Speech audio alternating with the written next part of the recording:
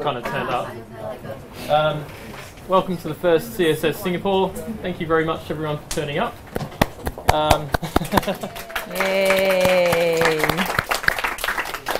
People showed up, so happy. This all started by accident a couple of weeks ago on Copy.js Slack um, when we were just talking and trying to work out why there wasn't a CSS Singapore. And just wondering about its existence caused it to come into being, basically.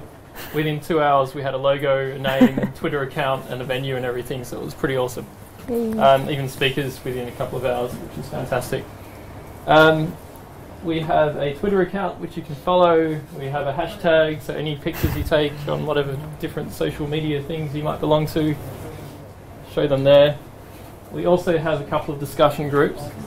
There's the DevFest Asia one, which has been going on for the last few days, um, and there's also Singapore CSS on Gitter as well. Um, so please join in, ask questions, tell us where we've got things wrong, anything along those lines.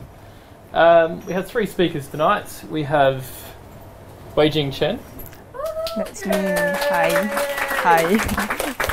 Sorry to disappoint. Zell hiding over there, and me because I'm running it, so kind of. Yeah. Um, Hui Jing will be starting us off talking about CSS shapes.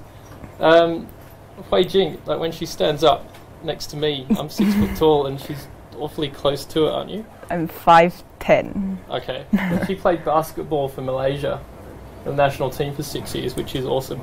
And then she decided that running around was too much effort. So just, the coding is way much more fun than that.